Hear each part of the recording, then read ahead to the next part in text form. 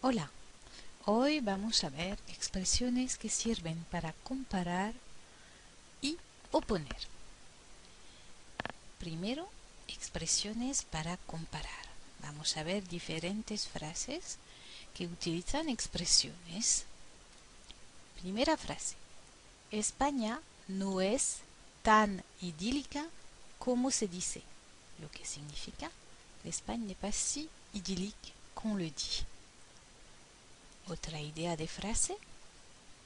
Más, la situación es más difícil que en Francia. Lo que significa la situación est plus difficile qu'en France. Seguimos. Hay menos trabajo que antes. Lo que significa il y a moins de travail.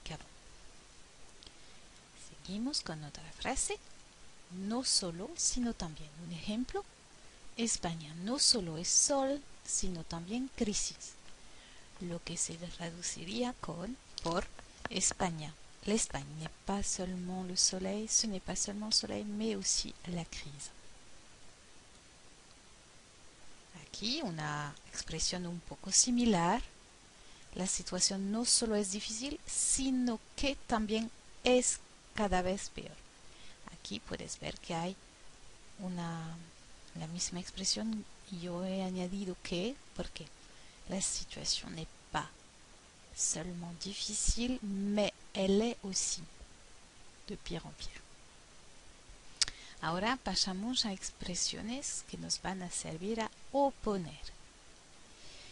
Primera frase, aunque España tiene muchos alicientes, sufre crisis, lo que significa bien que l'Espagne ait beaucoup d'atouts, elle souffre de la crise. A pesar de, a pesar de su riqueza, el país sufre dificultades, malgré sa richesse. Le pays souffre de difficultés. Mientras que, que es una expresión que tú conoces, muchos turistas visitan España, mientras que muchos españoles se marchan a vivir fuera de España. Lo que significa beaucoup de touristes visitent l'Espagne alors que beaucoup d'Espagnols partent vivre à l'étranger. Y por fin, una pequeña expresión, fácil también, sin embargo. Hay mucho que ver, sin embargo, no viene tanta gente como antes.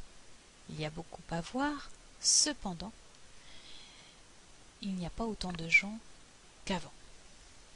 Bueno, pues ahora, utilízalas en tus trabajos. Adiós.